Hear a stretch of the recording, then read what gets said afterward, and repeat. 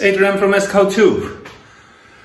Oh, I'm gonna do a video on how I do plaster.